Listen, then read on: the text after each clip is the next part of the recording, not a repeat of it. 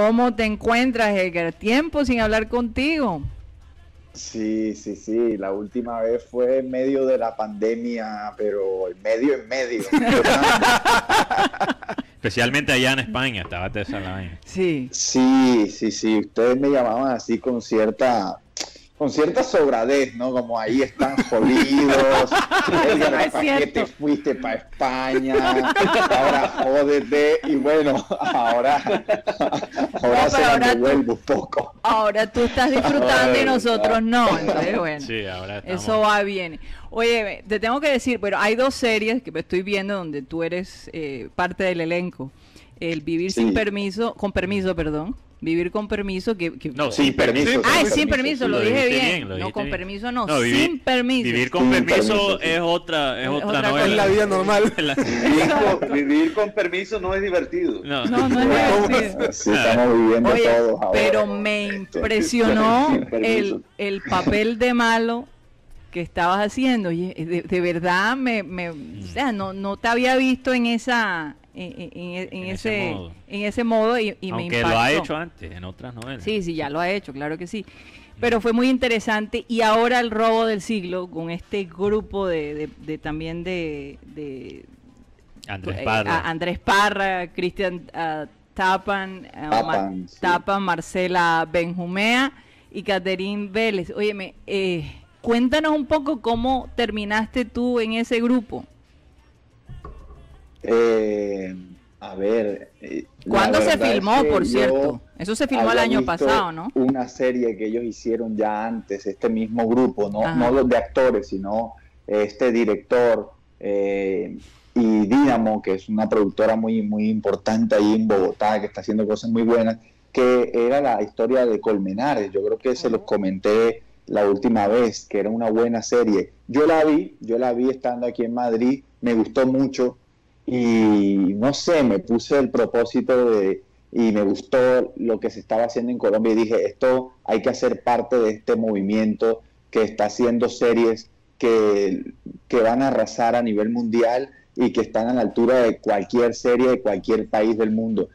Y entonces, no sé, ya yo me lo puse ahí en la cabeza eh, y me fui, creo que a Colombia por unas vacaciones y justo en esos días me llamaron a que fuera a hacer un casting. Yo fui, hice mi casting y luego cuando recibí el guion, el libreto para el casting, me doy cuenta de que era para los mismos productores, con los mismos directores de la serie del caso Colmenares.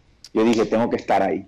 Mm. En principio yo hice el casting para este personaje que hace que, Steven, que lo hace Rodrigo Jerez, que era este personaje como como más eh, ñero, así y tal. Yo estaba haciendo el casting para ese personaje y evidentemente sabía que, que yo no estaba físicamente para eso, ya, porque era un perfil, es un perfil de un tipo que hace robos millonarios, paseos millonarios en Bogotá. Y yo dije, bueno, yo sé que por ahí no va a ir la vaina, pero yo voy a hacer mi casting bien hecho para que esta gente le guste y a ver, y a ver cómo, cómo, cómo termino yo haciendo parte de esta serie. Efectivamente hice mi casting. Cuando yo me fui, le dije al director, le dije, oye, ¿y si ese personaje, no sé, digo yo, yo primero lo hice como con acento bogotano y haciendo así como, ¿sabes?, de, de, de, y todo. Pero antes de irme yo le dije, ¿por qué no me dejan hacerlo costeño? Pues yo creo que ese personaje puede ser chévere costeño, creo yo, ¿eh? Entonces, ¿qué tal? Y bueno, dale, a ver, hazlo. Y yo lo hice y él le gustó me gustó me dijo, oye, mira, no lo había pensado, pero puede ser. Entonces, bueno, yo me fui tranquilo, como a la semana antes de que me regresara a Madrid, me volvieron a llamar. Me dijeron, te queremos ver para el mismo personaje. Y yo, bueno, ahora sí me dijeron, no, ya tiene, no va a ser costeño, tienes que ganártelo sí o sí, siendo mm, cachaco, siendo personaje cachaco y.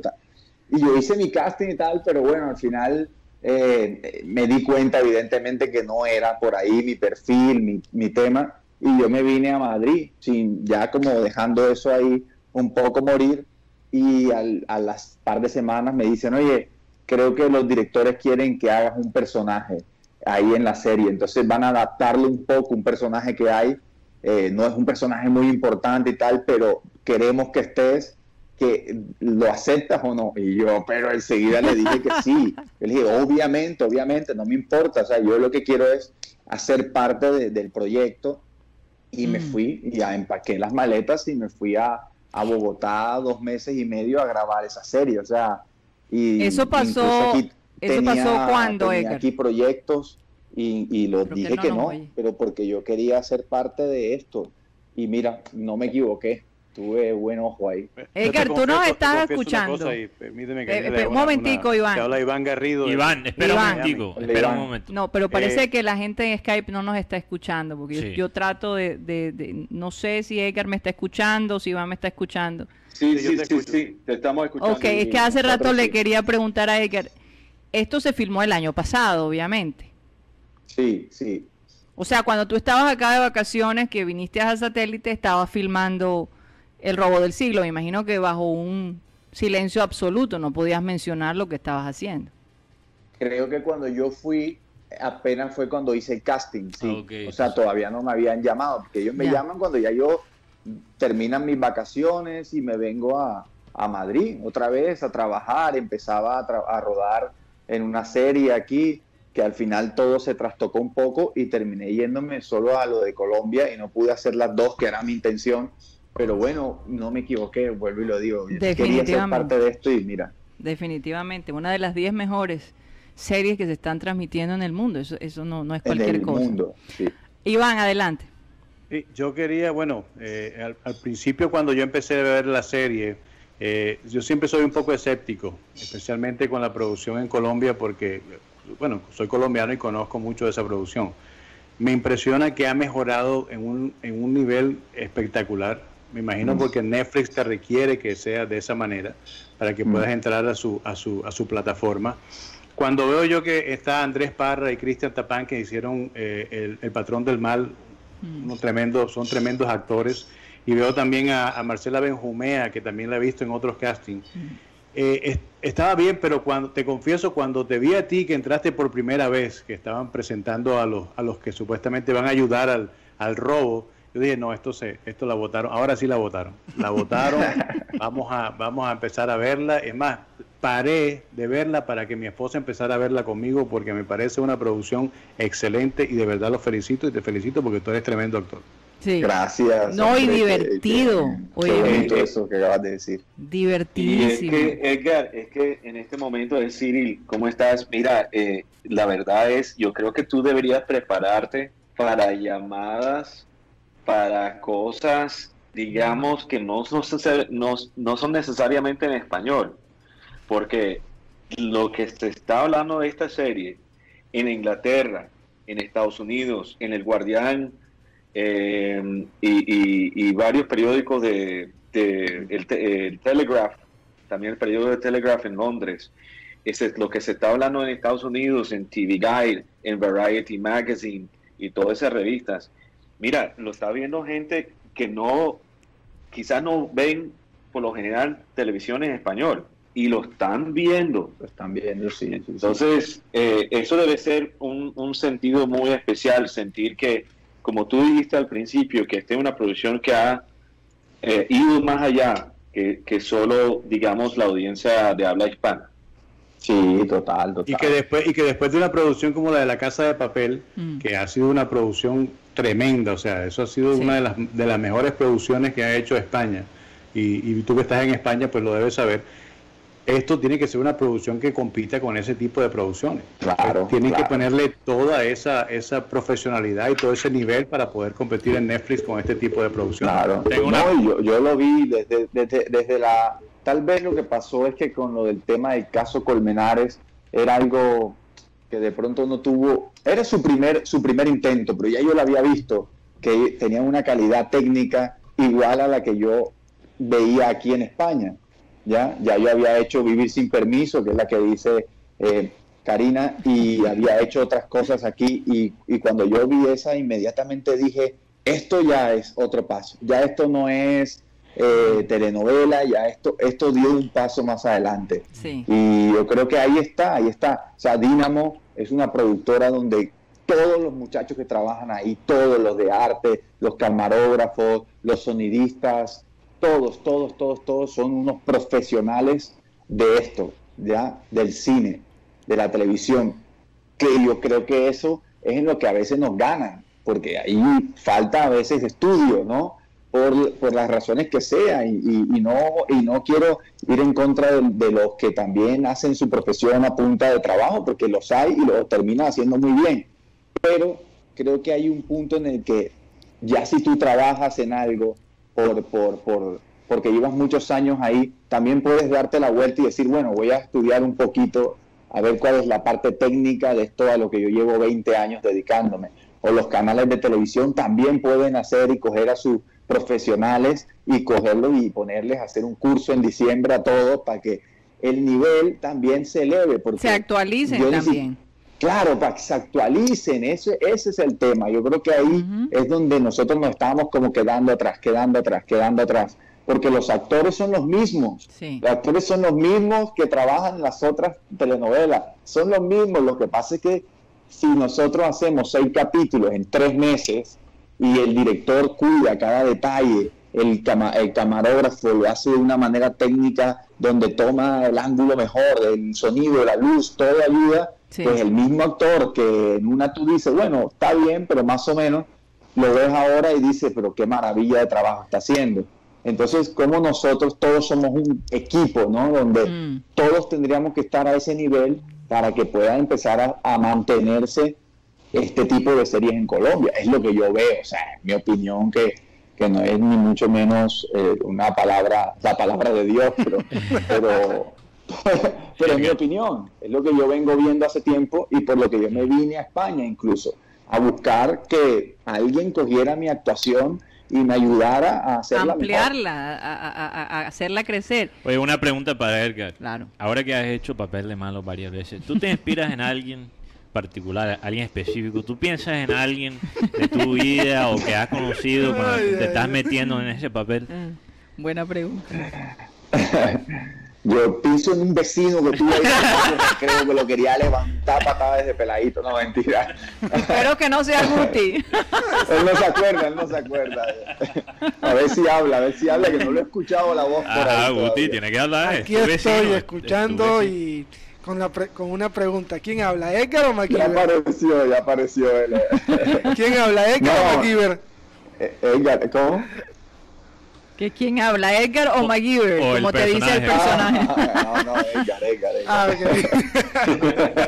Oye, por ejemplo, hay algo que, que, que yo creo que, que, hago yo siempre es buscar a, alguien de la vida real, digamos, que me, que me inspire, ¿no? Para esos personajes. En el caso de Vivir sin Permiso, yo miré mucho a, al Zarco, que es este, este tipo que, hizo una película de la vendedora de rosas, pero que también lleva una vida de calle, ¿no? Y también vi mucho pues, a Popeye, sus entrevistas y todo este tipo de, personajes que, que, que en toda su maldad también hasta tienen a veces un toque de humor que, digamos que fue lo que me inspiró a mí para, para ese papel de Freddy en Vivir sin Permiso. Y, y es importante también que, que, el ver mucho cine, o sea, el ver eh, eh, cómo, cómo, cómo, la gente actúa, sacar un poco de, de, actores que tú crees que son, que te pueden inspirar y te pueden enseñar, eso te ayuda bastante. Y los camarógrafos, la gente que, que maneja la producción, el ver mucho cine le, le da mucha, mucha imaginación para poder crear sus propias películas y sus propios personajes como tú. Sí, sí, sí, también. De hecho, una vez yo le, eh, escuché a Javier Bardem decir como que él se inspiraba viendo, viendo, viendo. Y si veía algo muy bueno, directamente lo copiaba. como, y como siempre, como siempre lo he dicho, si tú hiciste al pie de Valderrama, tú haces cualquier personaje. Oh, ya, eso, eso, eso es Iván, Iván, perdón que a la, la, camisa que tengo. Ah, mira, mira, eh, precisamente, Iván, perdón que corte aquí la, la, conversación, lo que pasa es que tú tienes ahí atrás el partido de básquet y nos van a joder aquí la transmisión digital, entonces si, si lo puedes cambiar a, a otro canal o porque no quiero, tú sabes que con los derechos son, son tesos. pongo una novela, pongo una novela.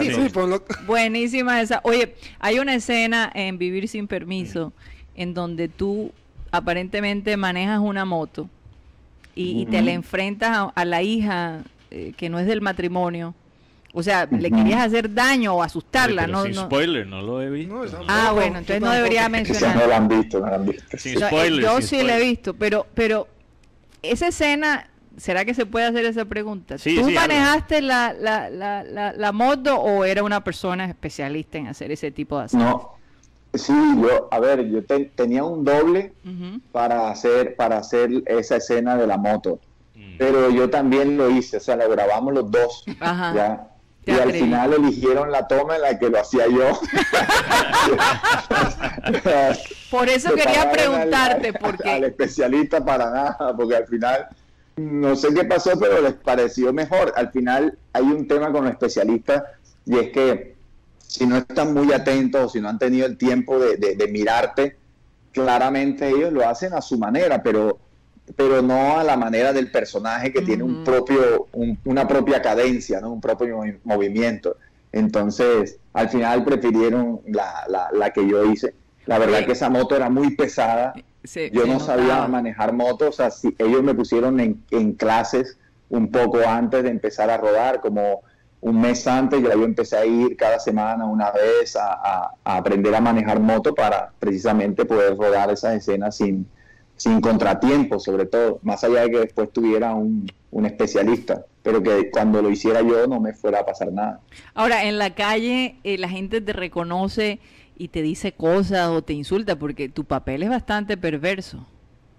Sí, sí, claro, no me insultan. Aquí, aquí pasa algo y es que les encanta cómo habla la gente de, Medellín, les encanta, les parece una maravilla. Entonces, uno al principio también eh, siente como un poco pena, o sea, como una vergüenza, porque dice, bueno, te encuentras es lo mejor de lo mejor, hombre. Exacto, o de pronto llega alguien y te dice como, ah, tú eres eh, el de gonorrea.